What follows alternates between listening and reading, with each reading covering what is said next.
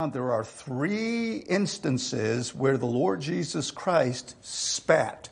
And it's really odd. It just seems kind of uh, strange. Uh, and uh, perhaps we can maybe uh, uh, determine exactly what's going on, okay? But uh, we'll begin here in Mark chapter 7, and you'll notice there, beginning at verse 31, and again, departing from the coast of Tyre and Sidon, he, the Lord Jesus, obviously came unto the Sea of Galilee through the midst of the coast of Decapolis. And they bring unto him one that was deaf and had an impediment in his speech, and they beseech him to put his hand upon him.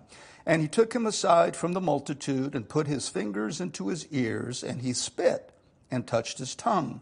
And looking up to heaven, he sighed and said unto him, Ephphatha, that is, be opened. And straightway his ears were opened, and the string of his tongue was loosed, and he spake plain. And he charged them that should that they should tell no man but the more he charged them, so much the more a great deal they published it. Our Father, once again, we do thank you for your grace. We do thank you for your goodness. And as we spend some time here examining the ministry of Messiah, uh, certainly we want to carefully understand our place in human history as we rightly divide the word of truth.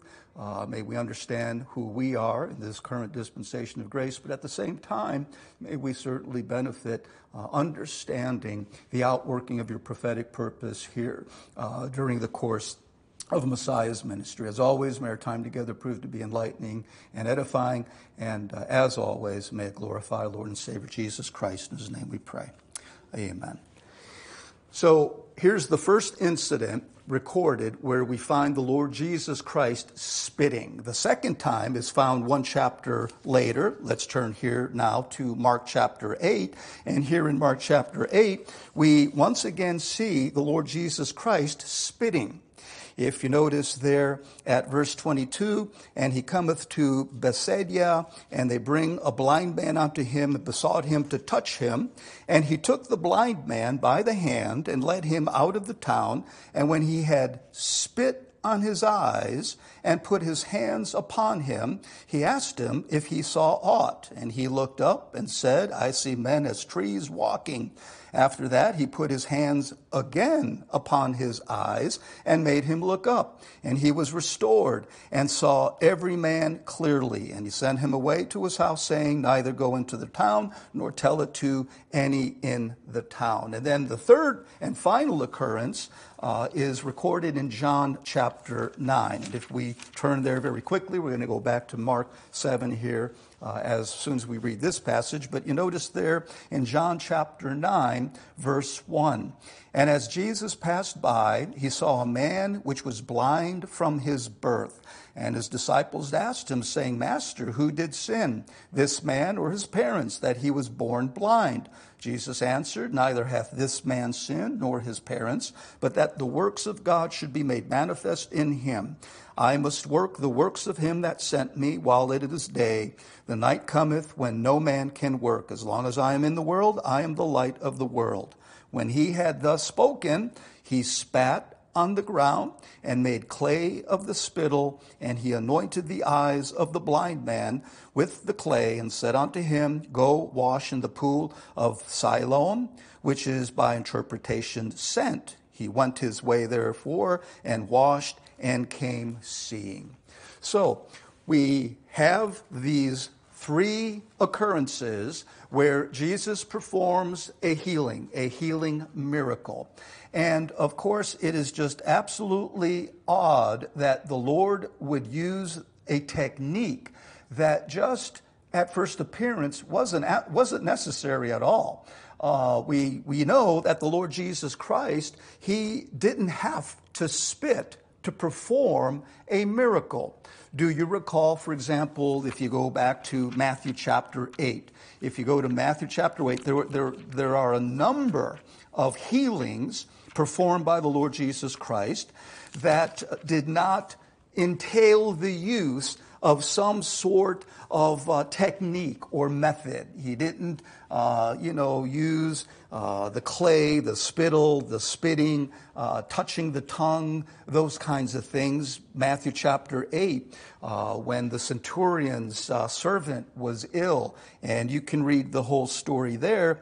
But after he healed the servant, Notice verse 13, Matthew chapter 8, verse 13. And Jesus said unto the centurion, Go thy way, and as thou hast believed, so be it done unto thee. And his servant was healed in the selfsame hour. Here's the, my point Jesus didn't even have to be present when a healing occurred, he didn't have to be there, he didn't have to touch anyone.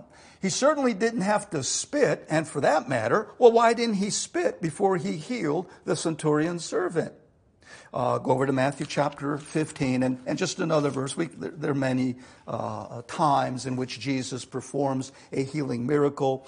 In Matthew chapter 15, you're familiar with the Syrophoenician woman and uh, the, the whole incident where this poor woman's daughter is vexed by a devil, grievously vexed by a devil. And of course, she expresses an understanding regarding her place as a Gentile dog, and so on and so forth. And of course, Jesus says in Matthew chapter 15, verse 28, Then Jesus answered and said unto her, O woman, Great is thy faith. Be it unto thee even as thou wilt. And her daughter was made whole from that very hour. No placing of his hands, uh, no one touching the hem of his garment, no shadow, and more importantly, no spitting. So we have to consider there has, there has to be a reason why Jesus is spitting. He's not spitting to perform the miracle. He spits as part of the miracle. Saliva has no healing power, okay?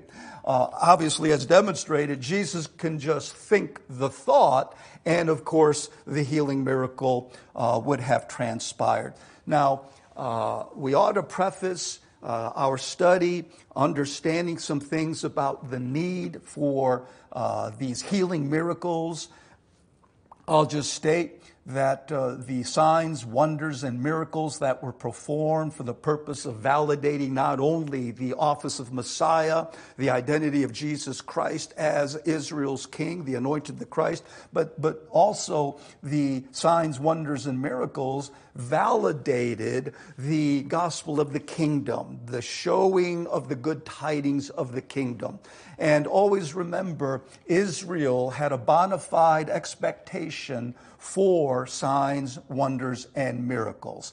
And uh, also, as importantly, recognizing that Israel is the sign nation, we need to understand that the signs, wonders, and miracles weren't for the purpose of entertaining anybody. Uh, the signs, wonders, and miracles were, the, were for the purpose of teaching something to the nation of Israel. So when we keep that in mind, there has to be something that is being communicated to the nation of Israel by way of the methodology, the techniques that Jesus chooses to use. And of course, we're going to focus in on the spitting. What is it that Jesus is teaching by way of spitting? And by the way, uh, he, he doesn't spit in the same manner, but the point is, he certainly is spitting, okay? So, number one, Israel has a legitimate expectation to see signs, wonders, and miracles to validate the identity of Messiah. Secondly, the signs, wonders, and miracles are intended to communicate doctrine. It's intended to communicate something. These miracles are not for show. It isn't to tickle anyone's fancy. It isn't Jesus that's trying to be a showman, uh, but he is instructing Israel regarding what is happening at that moment in history, specifically as it relates to uh, Messiah confronting the nation of Israel and Israel being responsible in uh, receiving him or rejecting him. Now, this is what I want to do before we kind of get into the weeds just a little bit. when we, here's this um, uh, portion of the timeline, okay? And of course, uh, one see the first coming, all right? The Lord Jesus Christ, incarnate, manifested himself to the nation of Israel. He conducted a ministry of about three and a half years. Obviously, we understand he was rejected in unbelief and he is crucified. We certainly know three days later he rises from the dead. 40 days later after that, the Holy Spirit descends as recorded in Acts chapter 2 specifically, okay? Acts chapter 1, chapters 1 through chapter 7 is a one year period of time in which God the Holy Spirit is conducting an aggressive ministry for the purpose of confronting the nation of Israel regarding the wicked rejection of Messiah and the wicked crucifixion of Messiah, okay? The reason we want to begin by understanding this, this period of time is because the spitting miracles, the spitting healing miracles, is going to reinforce what we'll call, for sake of convenience, this two stage principle or two stage ministry. All right? I, I want to say it at the outset that way, when we start going through the verses, I trust you'll see that, wow, there are things that are being said, there are things that are being done, there are some things that serve as types and shadows and figures, again, in keeping with how God deals with Israel, that will affirm and clearly demonstrate that Jesus is now introducing and is now going to instruct Israel about about a two stage ministry. Now, before, uh, go to Luke chapter 13, Luke chapter 23, uh, just so that we're uh, on the same page. okay. Uh, Luke chapter 20, let, us read chapter 13 first. Uh, Luke chapter 13. And uh, here the Lord Jesus gives a parable. And uh, in this parable, um, you know, you have the fruitless fig tree, so on and so forth, right? And so uh, the king he says, you know what? Uh, or, or rather, the, the, the man, verse 6, Luke chapter 13, verse 6, he spake also this parable. A certain man had a fig tree planted in his vineyard, and he came and sought fruit thereon and found none. Obviously, this is a representation of the nation of Israel. What is Jesus looking for? He's looking for fruit, right? Verse 7 Then said he unto the dresser of his vineyard, Behold, these three years I come seeking fruit. That's Messiah. It's the Lord Jesus Christ. He's three years I'm looking for fruit on this fig tree and find none.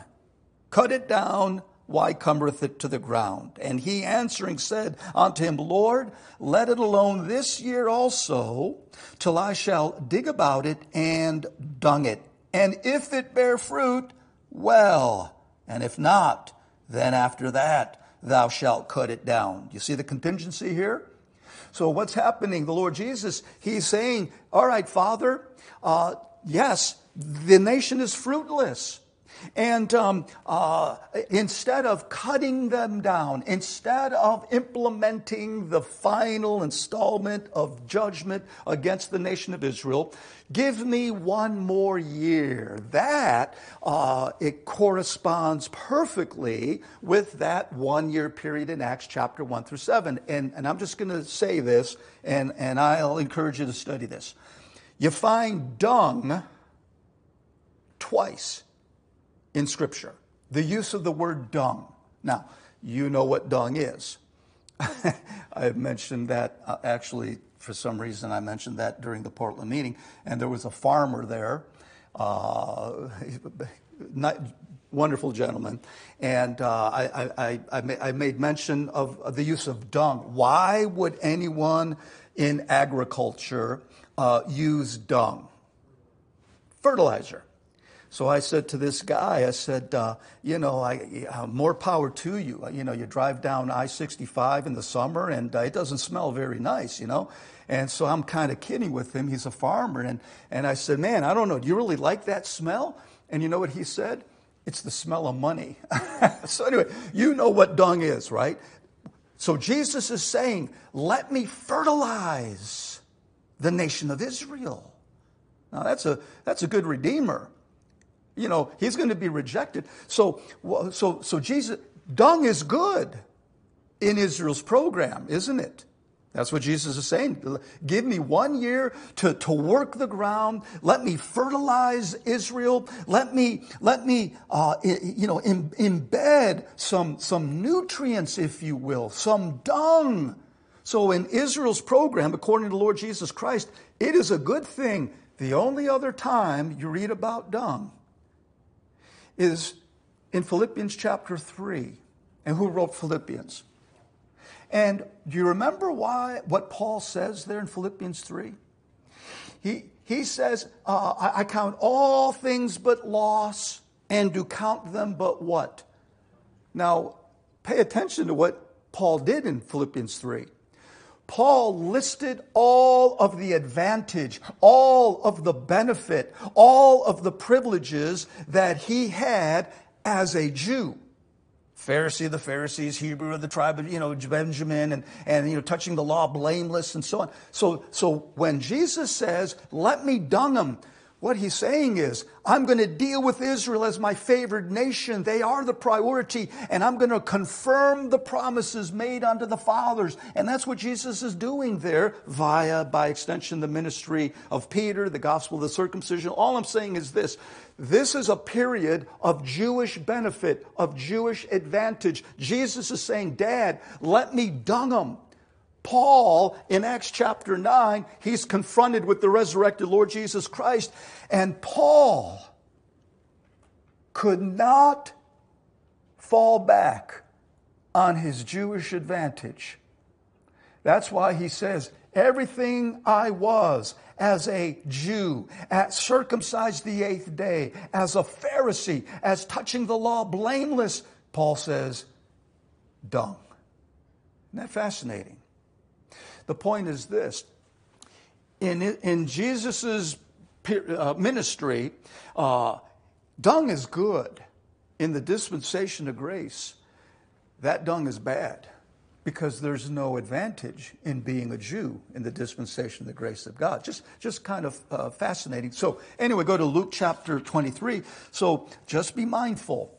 Uh, the Lord, in anticipation of Israel's fruitlessness, instead of uh, cutting the fig tree down, he's appealing to his father Give me one more year, which explains why, of course, the Lord Jesus, while he's hanging on the cross, Luke chapter 23, verse 34, then said Jesus, Father, forgive them.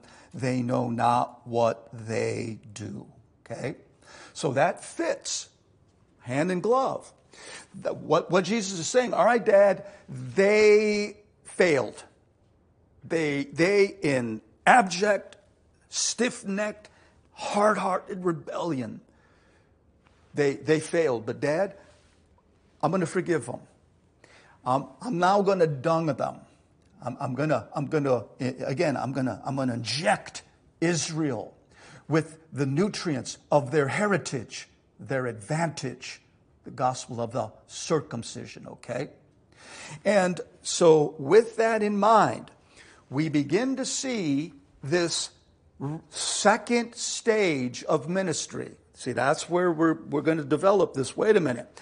Here's the first opportunity, and already Jesus is preparing for his rejection. So, what he's going to now begin to prepare the disciples for, and what he's going to begin to instruct the disciples about is there's going to be a second stage of ministry. It's going to be the Holy Spirit who is going to do some things. So there is going to be a renewed opportunity that is going to be extended to the nation of Israel. So just sort of keep that uh, two stage ministry principle in, in, in your thinking and in your mind. Because now, uh, why don't we go over to Matthew? Go to Matthew chapter uh, 12 here, okay? this is what we want to, to notice here. Before we get to that first spitting miracle, the environment, the dynamic has changed radically in the Lord's ministry, all right? Um, it, it, it, I'm going to go to Matthew because we can move a little bit smoother, I think, the, by going to Matthew.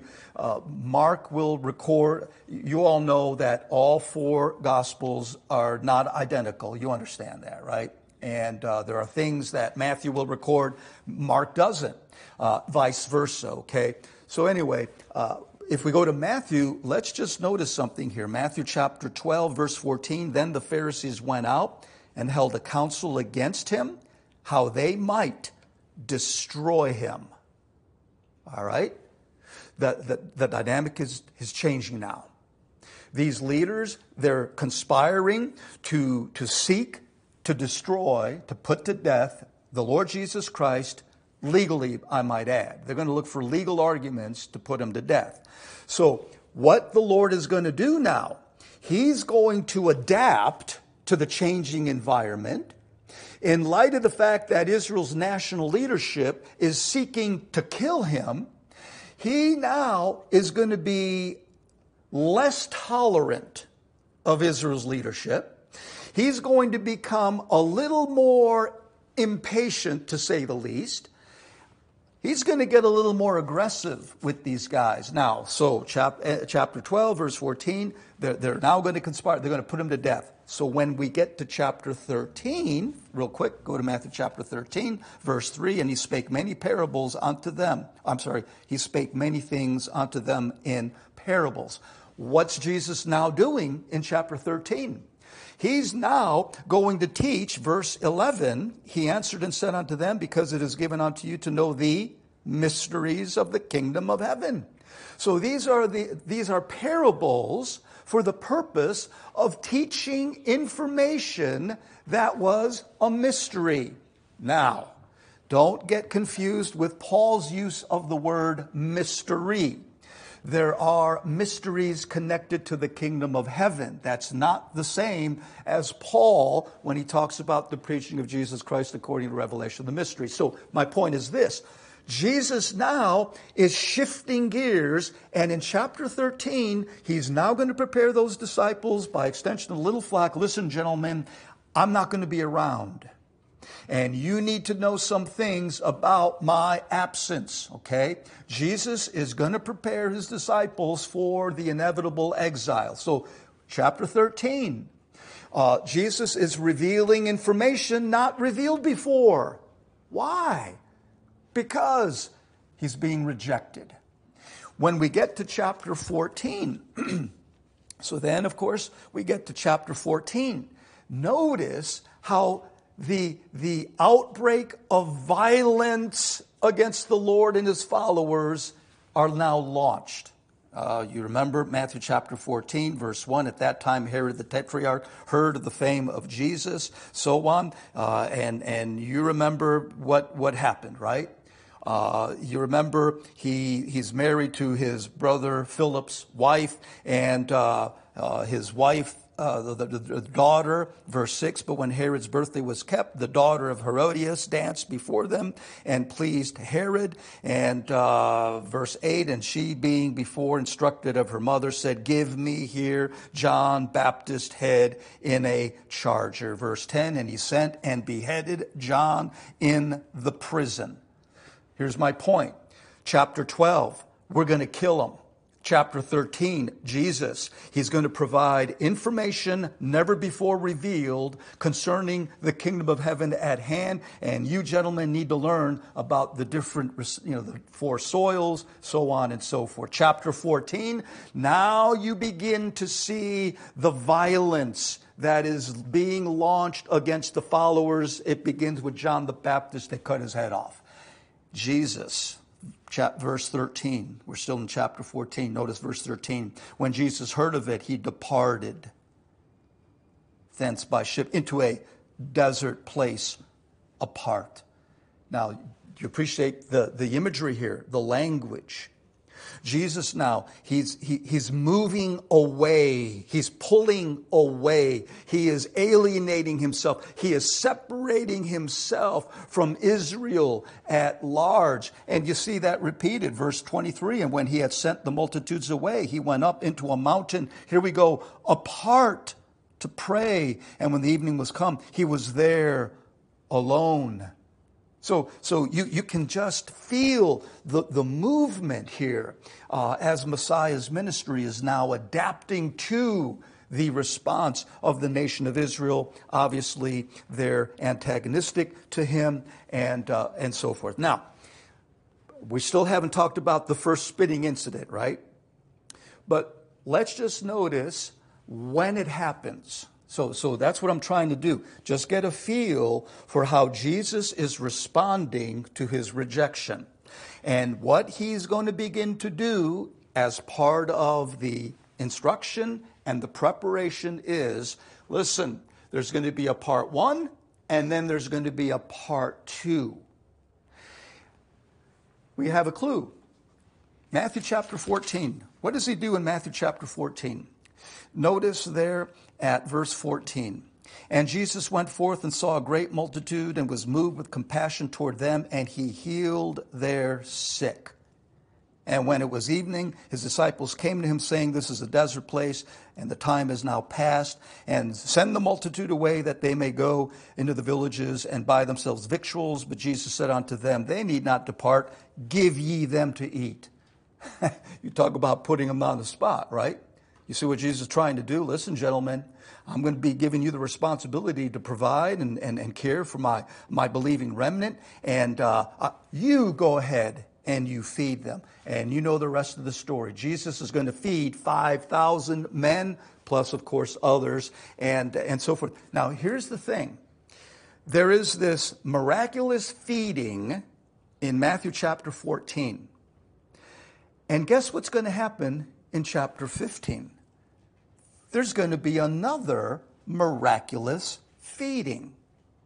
Notice in chapter 15, verse uh, 32. By the way, if you compare the two feedings, they're almost identical, except for the locations. We understand that.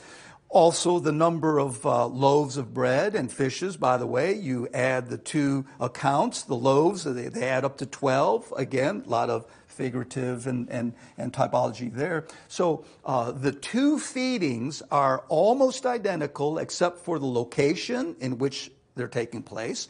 Uh, they're different as far as the numbers of loaves, fishes, and baskets. But there is also another interesting distinction, okay? But here's my point before we look at it.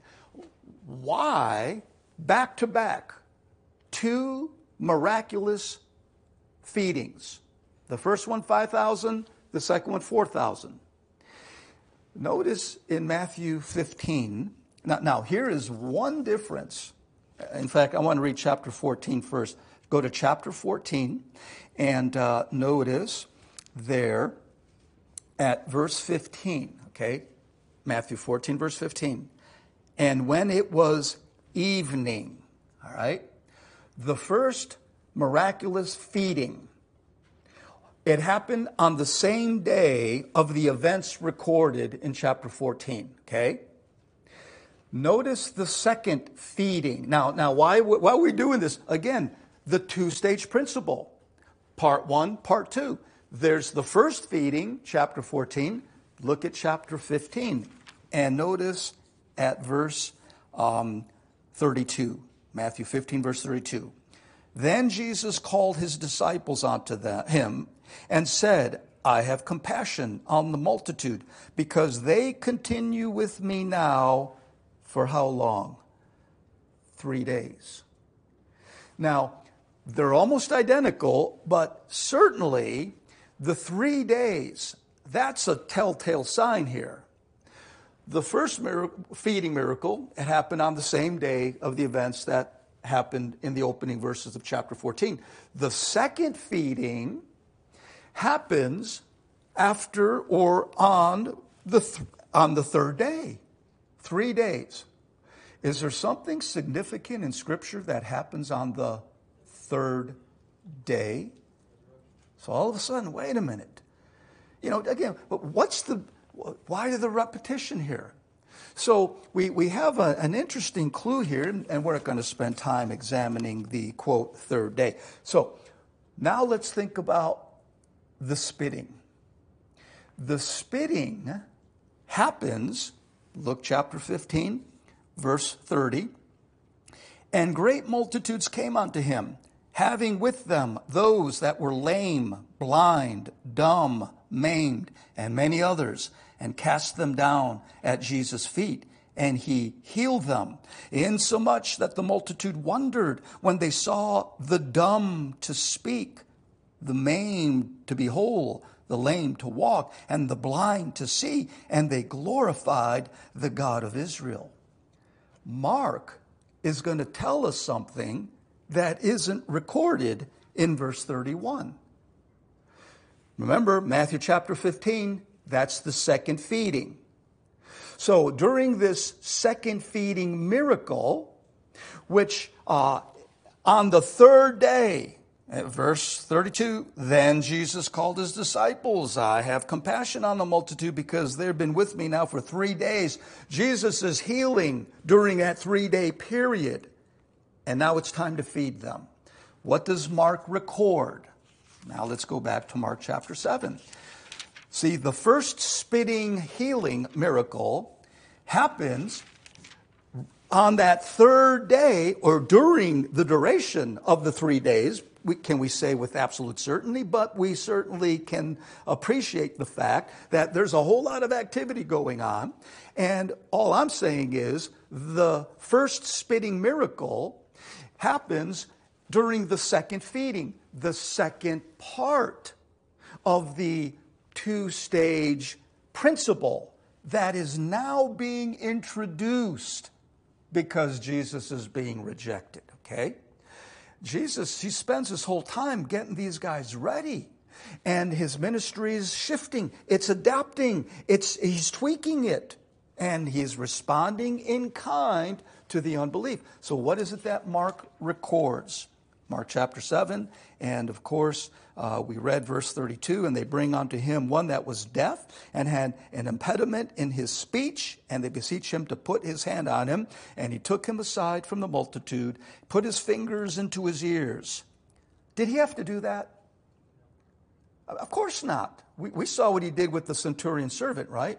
We saw what he did with that, uh, that poor girl, the young girl of the Syrophoenician woman. He, he looks at that woman and says, well, you, you got it. And when that woman ran home, guess what? Her daughter is, is healed from, the, from that. So, so here's my point. Why did Jesus stick his fingers in their ears, uh, this guy's ears? To communicate doctrine. He didn't have to do it. But because he's now changing his ministry, he's going to enforce, he's going to affirm there's going to be a second stage to the work of God in the midst of the nation of Israel. So, verse 33, he took him aside. By the way, for sake of time, that's a, that's a type of little flock right there. Did not John the Baptist begin, and then, of course, the Lord Jesus Christ, and then, of course, those disciples? Are they not calling out the remnant from unbelieving Israel, apostate Israel? Come out from them. Jesus is deliberately setting them to the side, okay? He took him aside from the multitude and put his fingers in his ears. And then what does he do? And then he spit. That one is, it's so bizarre, isn't it? Until we find out what spit means. He spit and then touched his tongue. By the way, the saliva never heals anybody here in Mark 7, Mark chapter 8, and in John chapter 9. The spit has no healing power whatever. So don't go around spitting in people's faces, okay? Um, let, me, let me say this there, there's a lot of goofy ideas. Um, some would suggest Jesus is practicing some sort of a pagan ritual. That's, we, we reject that stupidity right off the bat. Why would Jesus repeat some sort of a pagan ritual? Uh, the pagans believe that spit can either ward off an evil spirit or, I don't know, maybe call a good spirit. I don't know. But the point is this we're not going to resort to the machinations of you know these crazy. Uh, Jesus is not performing some pagan ritual. Um, he does not have to spit, and the spit has no healing properties whatsoever. Now, some would suggest, well, you know, that was an, uh, uh, I'll quote, an Oriental Mideast custom. Well, the problem is, uh, again, uh, there is no rabbinical writing that would ever justify the use of spitting in, in, in a healing, okay? Again, it's all conjecture, and for that matter, maybe it is a Mideast custom, but, but how, how does it all fit what Jesus is doing here? Now, at the very least, you got to appreciate the fact that he's very tender with this guy, but we, we, won't, we won't deal with that. Now, let's keep reading. The end of verse 33 he touched his tongue. Verse 34 and then looking up into heaven, he sighed and said unto him, Ephphatha, that is. Now notice, it's the word, right? When Jesus said, Be opened, verse 35, and straightway his ears were open. Here's my point the saliva didn't do it, the spit didn't do it. It was the word, Be opened. And now the guy can hear again. Um, let's go look at chapter 8. I just want to emphasize there is no medicinal value in spit. Uh, Mark chapter 8, and uh, we, we notice there, verse 23. And he took the blind man by the hand and led him out of the town. And when he had spit on his eyes and put his hands on him, he asked him if he saw aught. And he looked up and said, I see men as trees walking. So, wait a minute, not only the spit didn't do it, but it, it didn't do the job adequately, that's for sure. So that raises another question. Why didn't it work the first time? Do you see the two stage principle developing here? It didn't work the first time, it didn't work fully. Verse 24, and he looked up and said, I see men as trees walking. After that, he put his hands again upon his eyes and made him look up, and he was restored and saw every man clearly. The spit had no medicinal, no miraculous value whatsoever. And, and if you, we won't go there. John chapter 9, read the account. The spit. Okay, wait a minute. The guy was born blind, right? Why would you take a blind guy and then cover his eyes up with clay? Jesus just made him twice blind. Do you appreciate what's going on here? So, so the guy is blind. Well, go over there to John chapter 9. Uh, people just sort of miss. So the guy is born blind. And Jesus what does he do there? Verse 6 of John chapter 9, when he had thus spoken. By the way, verse 5 is a description of his earthly ministry. Okay?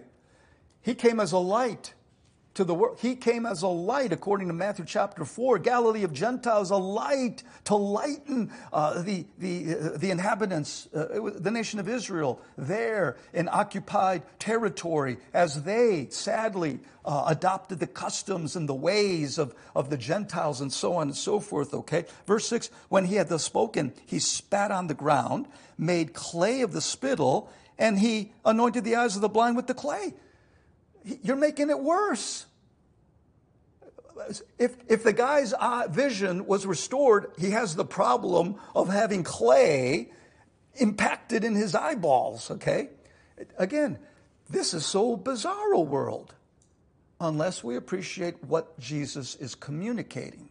Now, what actually healed this guy? Verse 7 and said unto him, Go wash in the pool of Siloam, Siloam which is by interpretation. You know, the, you know, the Bible never uses the word translation except for when, you know, you're translated in. By interpretation, sent. Wow, that's a dead giveaway. He went his way, therefore, and washed, and then what happened? So the spittle didn't heal him.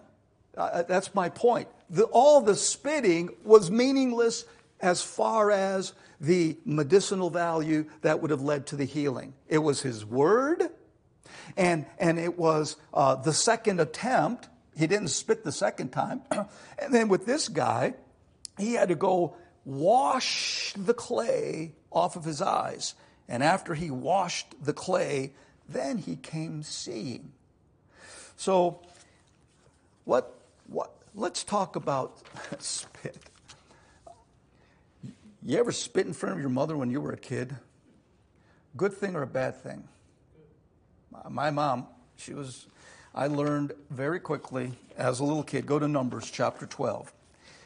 Spitting in Scripture is a disgrace. Spitting is it, it, it, it typifies shame. Go, uh, Numbers chapter 12. Numbers chapter 12. Spitting is a contaminant. Spitting is offensive. Spitting is intended to jar somebody, okay? Uh, spitting, it, it, it's sort of, uh, sh- there's a shock value to it, all right? If you want to deliberately elicit shock, you spit. So when we, you consider spitting, it is something culturally, and we're going to see in Scripture as well, it's culturally unacceptable. It's disgraceful. It's shameful. It's offensive. It's vile. It's repulsive. So, why is Jesus spitting? Hmm. Numbers chapter 12, verse 14. And the Lord said unto Moses, If her father had but spit in her faith, face, now, you got to read the context, what's going on. But, but just notice if the Lord said unto Moses, If her father had but spit in her face, should she not be ashamed seven days? Let her be shut out from the camp seven days, and after that, let her be received in again. Listen, spitting is humiliating. It's an, it's an offensive act, okay? Go over to Deuteronomy chapter 25. Deuteronomy chapter 25. and uh, notice Deuteronomy chapter 25. Look there at verse 9, Deuteronomy 25, verse 9. And notice, then shall his brother's wife come unto him in the presence of the elders and lose his shoe from off his foot and spit in his face. Jesus did that and shall answer and say, So shall it be done unto that man that will not build up his brother's uh, house. So here you have a guy whose, whose brother's wife dies, and instead of continuing the seed line, he refuses to do so. He refuses to take the responsibility of continuing the seed line from his brother. And so, uh, because he refuses to do that, uh, you spit in the guy's face. Good thing or bad thing? Bad thing. You're shirking your responsibility. Shame on you. And spitting in someone's face is an act of, of humiliating, shameful degradation. Uh, okay, go over to Job chapter 30. Job chapter 30. Job chapter 30. And uh, verse 10. Job chapter 30, verse 10. They abhor me, they flee far from me, and spare not to spit in my face. Listen, Spitting is not an act of kindness, it's not an act of love, it's not an act of charity. Uh, Job, verse 10 they abhor me. And what do you do to someone who you hate with extreme disdain? Go to Isaiah chapter 53, uh, uh Isaiah chapter 50, uh, Isaiah chapter 50. And then, of course, we have to go over to Matthew chapter 27, Isaiah chapter 50.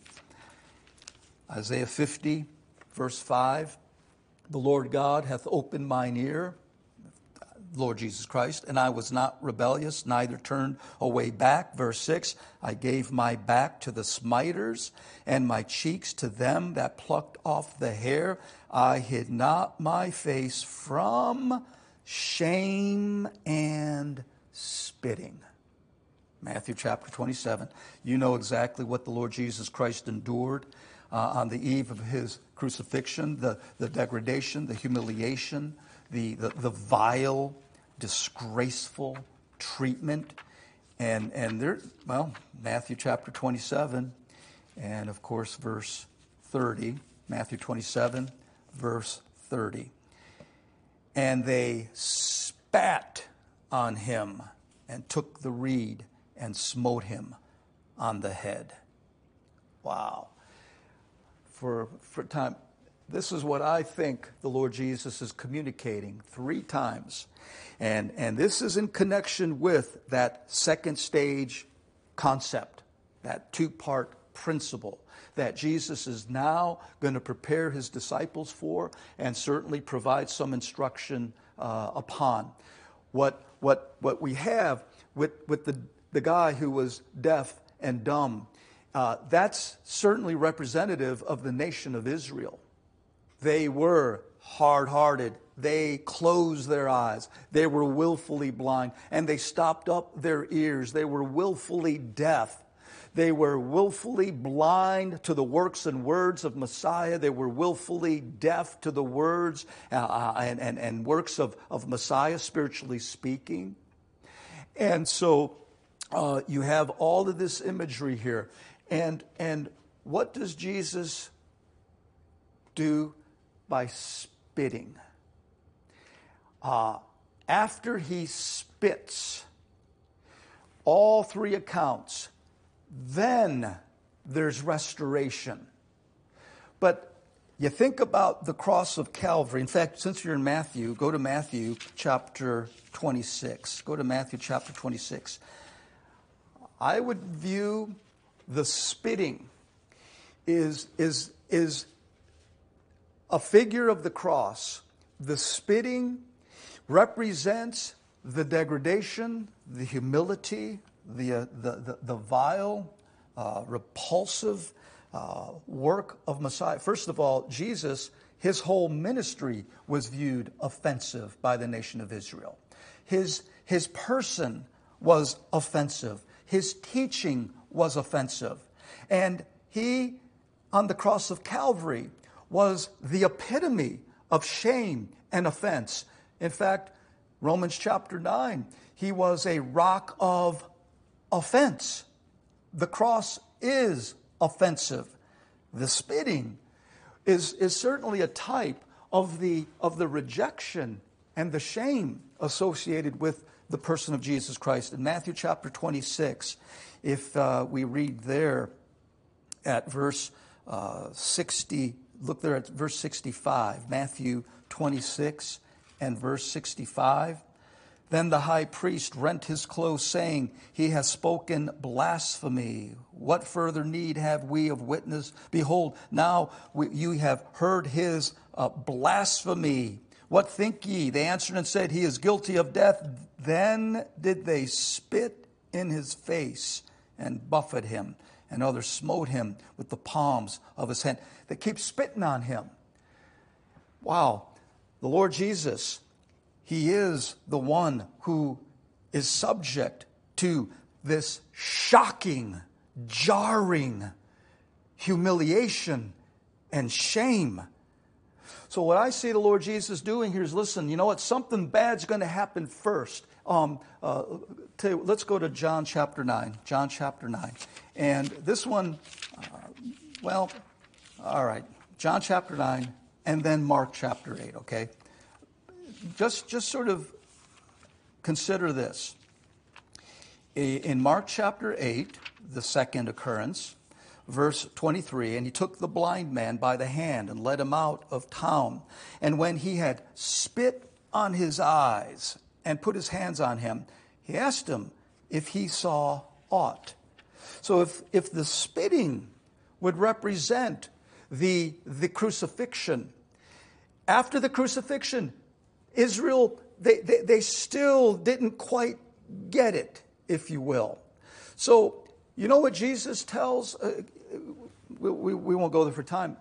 After the resurrection of Jesus Christ, those disciples, they, Jesus says, oh, slow to understand. You still don't get it. So, uh, even after the resurrection, his own followers, they still didn't get it. So, what does Jesus have to do? He has to open their eyes of understanding. And then Jesus says, You go to Jerusalem, and I'm going to send the Holy Spirit. And now we understand the second stage. They rejected Messiah, they put him to death. He's humiliated by crucifix. By the way, on the cross, he's called a curse. He's the object of offense. He is, I already uh, uh, referred to, to Romans, he's the rock of offense. He was that serpent, that fiery serpent on the pole representing Israel's uh, unbelief in Numbers chapter 11. Jesus, when he cries there, Psalms chapter 22, he says, I am a worm and not a man. 2 Corinthians chapter 5, he was made sin for us. So, uh, over and over, wait a minute, that cross, that is abject humiliation. And it isn't until the Holy Spirit comes, then they're going to begin to see some things. Mark chapter 8, uh, verse 23 He took the blind man by the hand, led him out of the town, and when he had spit on his eyes, and then put his hands on him. He asked him, Did you see anything? And he looked up and said, I see men walking the streets. After that, he put his hands again. A renewed opportunity extended to the nation of Israel upon his eyes and made him look up, and he was restored and saw every man clearly. Now let's close here, John chapter 9. And uh, I know we're, we're, we're just jumping over a lot of. A lot of uh, imagery here, but just sort of bring it all to an end here in John chapter 9. This is a fascinating narrative of, of the Lord. Uh, verse 1 born blind. That is Israel's spiritual predicament. Israel spiritually born blind. And what do they need? They need a redeemer. So, um, so, what does Jesus do? His messianic ministry, verse, verse 4 I must work the works of him that sent me while it is day. The night cometh when no man can work. Uh, as long as I'm in the world, I am the light of the world. You know what Jesus is saying? Listen, Israel, you're spiritually blind. I am the light. And then, of course, what did they do to the light? They put it out. Verse 6 And when he had thus spoken, he spat on the ground. That's a type of Israel's rejection. And made clay of the spittle, and he anointed the eyes of the blind man with clay. Clay represents, of course, that stony heart of the nation of Israel. And, and look at verse 7. And he said on him, Go wash in the pool. Who in the Bible is likened unto living waters? The Holy Spirit. Who, who in the Bible is the one who washes and sanctifies and cleanses? That's a description of the Holy Spirit. But check this out, verse 7. And said unto him, Go, wash in the pool of Siloam, which is by interpretation what? Who did Jesus send after his crucifixion and resurrection? Go to John chapter 14. You know exactly who he sends. You see, uh, John chapter 14, verse 26. John chapter 14, verse 26. But the Comforter, which is the Holy Ghost, whom the Father will send in my name. He will teach you all things and bring all things to remembrance whatsoever I have said unto you. See that second stage ministry of God the Holy Spirit? You read the opening chapters of the book of Acts, and guess what Peter is doing, filled with the Holy Spirit? Go to John chapter 15, by the way. Bringing understanding, renewed understanding regarding uh, uh, the nation of Israel. John chapter 15, verse 26. But when the Comforter is come, whom I will send, unto you from the Father, even the Spirit of what? Truth. That's the second part. The, the, the first stage ends in, in, in, in just gross disgrace. But that's okay. There's going to be another opportunity. And that's where it takes us to that. Give me one more year, Father, just one more year. So, uh, it, it, for me, you, you, you just see the flow you see the movement, and uh, it, it really, again, Israel is a sign nation. And, you know, are there verses that'll provide some, some light and un, some understanding regarding the typology? Spitting is a bad thing. And, and Jesus, he was shamefully rejected. But in mercy, he does send the Holy Spirit. And now Israel's given another opportunity. We know what happened.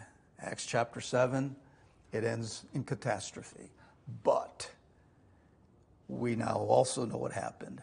God ushers in an entirely new, unprophesied dispensational program called the Dispensation of the Grace of God. And uh, for the last 2,000 years, we get to preach the cross as a source of glory. I'm, I'm going to stop. Peter, in Acts chapter 2, he, he says, Shame on you, Israel. You, with wicked hands, you took the Messiah. You took your king. You took the Christ. You took the anointed one and you killed him. But that wasn't going to thwart God's purpose. The Father raised him up. But, but remember the audience in Acts 2? They were pricked in their heart. What do we do? Peter says, Repent and be baptized for remission of sins, and you're going to receive the Holy Ghost. Shame, degradation. You know what Paul says? I glory where? In the cross. Peter never gloried in the cross in Acts chapters 1 through 7. Show me where Peter gloried in the cross. He didn't glory, it was a source of shame. Paul is the one who says, I glory. The cross is my boast, my pride, my brag tremendous dispensational distinction right there. Father, again, we thank you for your grace. We thank you for your love. And, and uh, as always, we, we certainly do thank you for your word. And may we, we, may we always approach it, uh, number one, with the uh, principle of right division. And uh, we, may we understand the verses in its proper dispensational context. And by doing so, may we just uh, extract the riches of, uh, of your wisdom and uh, once again, your faithfulness in carrying out the promises that you give to your people. We just thank you for in Christ's name. Amen.